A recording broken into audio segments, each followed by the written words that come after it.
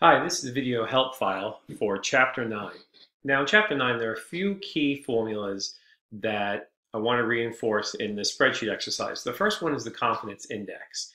So the confidence index uses the spread between the high grade corporate bonds and intermediate grade corporate bonds. Now in this formula, which is we just take the average of the high grade and divide by the average of the intermediate intermediate grade bonds. Simple calculation. We just take one variable and divide by the next. So very simple formula. And this confidence index is we're going to talk about in the lecture for chapter 9 why this is important and what's what's the significance of the change of this confidence index if it goes up or down. Okay, so look forward to the video on chapter 9, also the textbook, chapter 9, for more information about that formula. The next one, we're going to look at the TRIN, so T-R-I-N.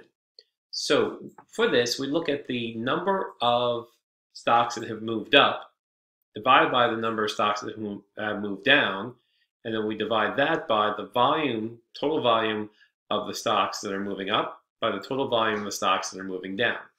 So for this problem, the first thing we want to do is I'm going to put a parentheses.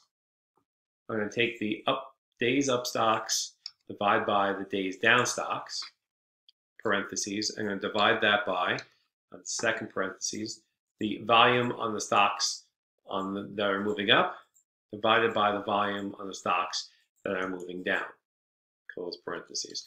Okay, so that gives me uh, a TRIN. Oh, here's a little error here. Should be in there, okay. A TRIN value of three. So again, this is another indicator that we could use to give us an idea of the overall optimism or pessimism of the market. And here we're marrying up the stocks that have that have moved up and the volume on the stocks that have moved up or down. And this, for more again, for more information about what this formula can be used for, and and um, how it's useful, you have to refer again to the lecture or the ch chapter textbook. I am here just going over the formulas to help you with the spreadsheet.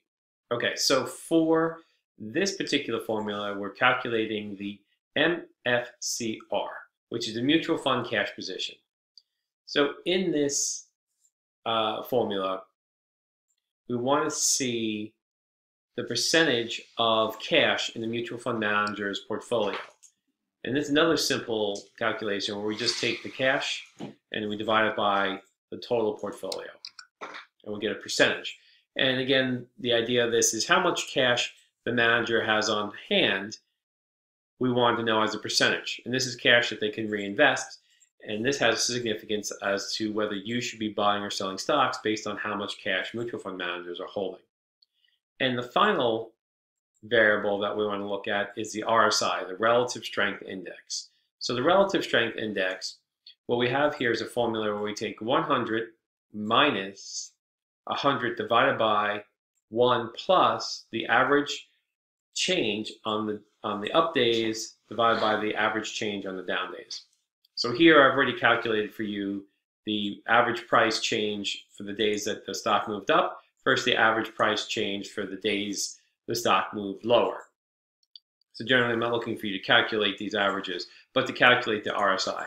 And again, for me to calculate this, I would start out with 100 minus, close parentheses, 100 divided by, do another close parentheses, 1 plus, another parentheses, the average, see the average price on the up days divided by the average price on the down days.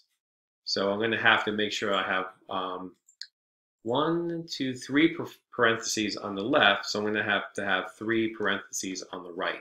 So that's why when you make any of these formulas, you have to make sure that the parentheses you have on the left of the equation, one, two, three, matches the amount of parentheses on the right of the equation, one, two, three. So they should be equal amounts.